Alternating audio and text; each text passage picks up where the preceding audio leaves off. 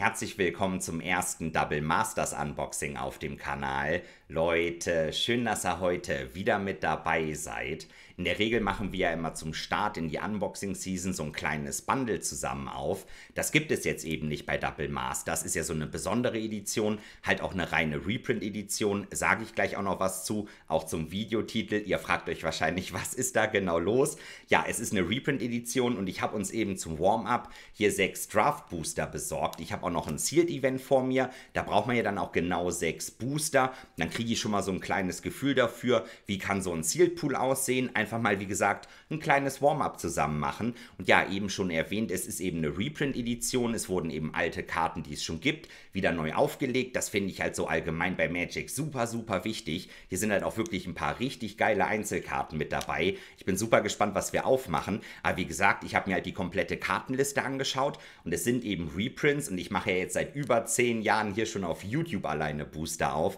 Ich behalte natürlich viele Karten für meine private Commander-Sammlung und es sind einfach schon super viele von den Karten aus der Edition hier bei mir direkt neben mir im Schrank. Und dann habe ich mir gedacht, ich möchte natürlich ein Video machen. Ich mache einfach super gerne Booster auf. Ihr bekommt aber heute im heutigen Giveaway einfach komplett alles, wirklich alles, was hier drin ist. Ich hoffe, es sind auch gute Karten mit dabei. Ich wollte einfach mal schauen, was ihr dazu sagt. Ich meine, Double Masters, das ist ja wirklich eine ordentliche Edition. Hier können krasse Karten mit dabei sein. Und ja, alles, was ihr hier seht in dem Video, das könnt ihr im heutigen Giveaway gewinnen. An der Stelle natürlich noch ein großes Dankeschön an unseren heutigen Sponsor Games Island. Leute, für mich ist das wirklich perfekt. Ich kann Booster aufmachen. Ich habe ein bisschen Spaß dabei. Wir haben ein schönes Video dann am Ende wahrscheinlich. Und ihr könnt das richtig gute Zeug wirklich im Giveaway gewinnen. Alle Infos, auch der Shop, wie immer in der Videobeschreibung zu finden. Könnt ihr euch sehr gerne mal umschauen. Und ich würde jetzt sagen, wir machen jetzt mal eure Booster zusammen auf.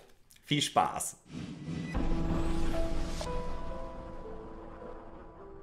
Starten wir sofort mit dem ersten Booster. Ich bin richtig gespannt. Oh, das lässt sich direkt das erste Booster ein bisschen schwerer öffnen. Kommt, Leute. Direkt die richtig gute Karte. Mal sehen, vielleicht ein kleiner, großer Eldrazi. Ich meine, die guten Karten kommen ja jetzt auch relativ am Anfang. Erstmal die Felstürme für die Limited-Formate, dann die doppelte Foil-Karte, die lege ich euch übrigens auch dabei. Also wirklich alles, was in dem Booster drin ist. Wirklich alles. Ah, okay. Das Nashorn und ein Zenit der grünen Sonne. Das ist zum Beispiel so eine Karte, die habe ich tatsächlich selber viermal in der Sammlung. Ich liebe ja grüne Toolbox-Decks. Alle Varianten, sei es Birthing Pot, Eldritch Evolution, der grüne Zenit in einem Elfendeck, in nahezu jedem Deck würde ich die Karte spielen. Richtig geile Karte. Ja, nett zum Warmwerden. Und die Vasallen sind natürlich auch super, vielleicht für die Commander-Sammlung. Der Azorius-Vasall. Richtig gut. Oh ja, nettes erstes Booster. Schauen wir mal, ob wir hier noch, ich meine, da sind ja noch ein paar Karten dahinter vielleicht eine nette Ankam oder Kamm sehen. Ja, so für die Vollständigkeit sind ja auch nur sechs Booster insgesamt. Oh, aber nette Playables. Würde ich sagen, schauen wir uns wirklich alles mal an. Auch ein Burning Tree. Das ist wirklich eine nette Karte. Oh, würde ich mal sagen, gutes erstes Warm-Up-Booster. Zwei nette, sehr spielbare Rares. Ah, so kann es auf jeden Fall weitergehen, Leute. Ich lege uns die mal hier oben noch so halb ins Bild. Ja, sind ja nur sechs Booster. Ich glaube, die Übersicht können wir halbwegs behalten hier an der Stelle. Booster Nummer 2. Was haben wir für euch gefunden? Aya-Token, Atla Palani. Bist du es? Ah, die Felstürme. Oh, der Leviathan. Direkt eine Foil Rare zur Eröffnung. Ja. Ja, der Schwurbruder nicht ganz. Ja, gut. ich glaube, ein Leviathan hätte mir hier oder euch auch an dieser Stelle gereicht. Die Zwillingsflamme, die zweite Rare. Oh, da würde ich sagen, da geht aber noch was. Oh, die Amulette sind auf jeden Fall nett. Oh, das ist ein Blood Artist. Full Art, alternatives Artwork. Oh, das ist auch eine nette Karte. Oh, den habe ich in super vielen Commander-Decks. Ist halt wirklich eine super starke Karte. Nett, nett. Ein Ausheben. Oh, die sehen aber richtig nice aus. Da habe ich nur so eine ganz alte Variante. Ja, es bleibt auch bei der alten Variante. Leute, die ist für euch. Och ja, Oh, Deep Analysis ist so ein richtiger Klassiker. Das ist wirklich ein richtiger Klassiker. Den habe ich auch super oft gecastet tatsächlich. Oh, nette Erinnerungen. Also für mich reicht das hier jetzt an der Stelle gerade wirklich, so die Reprints einfach zu sehen. Karten, die ich früher gecastet habe, teilweise in Turnierdecks, wie der Zenit eben. Oh, das macht Spaß, richtig gut. Leute, soll ich euch noch ein Geheimnis verraten? Ja, komm, jetzt, jetzt sind wir schon quasi mitten im Video.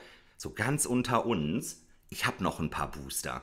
Wenn ihr ordentlich Daumen da lasst, mache ich noch mehr Booster auf. Könnte alles haben. Ich will nur Booster aufmachen. Habe ich richtig Bock drauf. Ich glaube, da können wir uns doch drauf einigen, oder? Gerne mal einen Daumen da lassen. Äh, dann schauen wir mal. Die beiden Vollkarten. Oh, da geht noch was. Gave, Guru der Sporen. Legendäres Pilzwesen. Oh ja, netter Commander. Nicht schlecht. Nicht die stärkste Mythic Rare hier für das Set. Und der Flegel des Eroberers. Ja, da würde ich aber sagen, da geht ja wirklich noch was hier, oder? Oh, so ein Bolt. Also die Kamm- und Ankamm-Karten. Ah, richtig gut geworden. Nette Auswahl. Der Bugler. Kennt er vielleicht bei mir aus dem Stream. Grüße gehen raus, immer gut. Oh, Mana Lake, wirklich ein Klassiker. Wurde ich wahrscheinlich öfters von getroffen, als ich selber das gecastet habe, aber ist in Ordnung. Lasse ich hier mal durchgehen. Quasi Halbzeit. Das vierte Booster. Oh, das ging aber jetzt verdächtig einfach auf. Ist das ein Zeichen? Ich weiß es nicht. Kleiner Feenräuber. Die Felstürme. So, die erste voll, die zweite voll. Oh, nicht ganz so krass, aber da ist hier super Full Art Extended Art dahinter. Kommt, Leute, was richtig Nices für euch. Komm. Oh, eine Consecrated Sphinx. Das ist eine wirklich gute Karte. Die ist auch deutlich besser hier im Mythic-Slot als die äh, Commander-Karte eben Gave. Oh, das ist eine Premium-blaue Karte und dann auch noch so schön. Oh Leute, da freue ich mich. Ich will natürlich auch ein paar gute Karten, so richtig gute Karten für euch aufmachen. Oh, jawohl. So habe ich mir das hier vorgestellt. Schön die Full Art Sphinx dahinter der Kosilek. Der Schlechter der Wahrheit. Okay, das ist ein Booster. Das kann ich auch so wirklich mit gutem Gewissen an euch rausschicken, würde ich mal sagen. Also Leute, komm, paar Daumen da lassen. Dann mache ich noch ein paar Eldrasis für euch auf. Nice. Oh, das war mal das war mal ein 10 von 10 Booster. Sphinx into Kosilek. Oh ja. Oh, Leute, da bin ich wirklich beruhigt. Ich dachte erst so, oh, vielleicht war das doch eine blöde Idee, wenn da jetzt nichts Gutes kommt. So nach dem Intro, Adla Palani. Ja, da, sie muss man, sie muss man einfach in der Commander-Sammlung haben. Das ist sowas von Pflicht. Da war ja auch eben schon ein Eiertoken dabei. Hervorragend. Ach so, flavorvoll.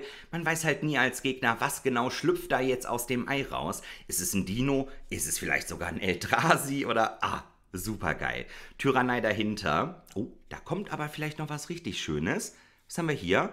Bist du ein Maldrifter? Der Grübelschlängler. Habe ich noch nie auf Deutsch gesehen, die Karte. Es ist ein Maldrifter. Wie schön du aussiehst. Boah, hier waren jetzt aber echt nette Karten dabei. Schön die Full Art Karten, mal ein Lightning Bolt. Ja, doch. So habe ich mir das vorgestellt. Ich meine, Leute, ich habe mir natürlich auch noch eine Kleinigkeit, eine Kleinigkeit in Form von einem Collector-Display, Collector-Booster-Display gegönnt. Das machen wir ja auch noch auf, aber ein paar Bonus-Booster für euch sind natürlich am Start. Ich bin gespannt, was ihr sagt zu meiner Idee. Mal sehen. Leute, oh, ein Aquädukt, Full Art voll. Ah, die sehen aber sehr geil aus. In manchen Decks, mancher Archetypes braucht man halt auch die Länder. Nicht schlecht. On Anger ist wirklich ein Klassiker. Geht klar und der Sog der Zeit. Ja, da hat mir hier das vierte Booster Sphinx Kosilek doch ein bisschen besser gefallen. Gut, dass das dabei war. Noch ein Bugler. Grüße gehen raus. Boah, Leute. Es waren jetzt zwar nur sechs Booster, aber das hat richtig Bock gemacht. Wie gesagt, alle Karten, alles, was ihr hier gesehen habt, auch die Token, die Vollkarten, wirklich alles, aber natürlich auch die Sphinx und der Kosilek sind mit dabei. Boah, guter erster Durchgang, gutes Warm-up. Das hat schon mal richtig Bock gemacht. Ja, wie gesagt, Leute, wenn ihr Bock darauf habt, ich habe noch ein paar Bonus-Booster für euch. Gerne einen Daumen da lassen, aber an der Stelle ganz kleines Video, kann ich euch erstmal nur noch einen wundervollen Tag wünschen. Wir sehen uns dann im nächsten Video. Bis dann. Ciao.